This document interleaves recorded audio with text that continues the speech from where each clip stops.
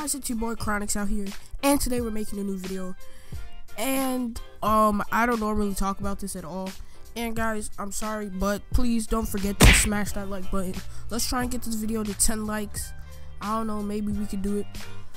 But um, I don't really talk about this a lot. I really don't.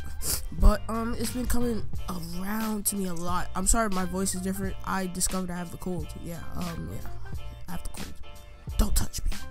So guys, um, today we're gonna be talking about we're gonna be seeing if PewDiePie is racist. I'm not accusing him. I'm just giving you guys something to think about. Is PewDiePie racist? Is the biggest YouTuber on YouTube itself racist?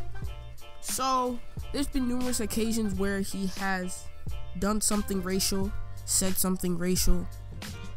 And today I'm only going to give you two examples because this video is going to be short. So, the first example, you guys might catch in my stream. Me and Minecraft were watching a video, and he made a, a, a like an unusual request, like for them to say "death to all Jews" and subscribe to Keemstar. That was fishy. That was really fishy. Death to all Jews and subscribe to Keemstar. I'm sorry if this is a little PG for you guys, but sorry. Like death to all Jews and isn't that a little twisted?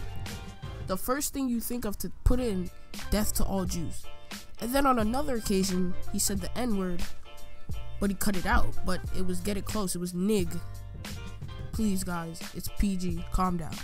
So, guys, um, I'm just gonna leave this for you to think about it. I'm not accusing him of being racist, but it's going towards that. So, guys, it's been your boy Cronix, and we out.